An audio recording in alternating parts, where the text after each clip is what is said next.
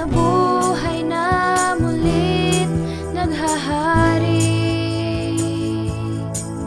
Lahat ay luluhod at magsasabi Si Kristo ang hari. Si Jesus ang hari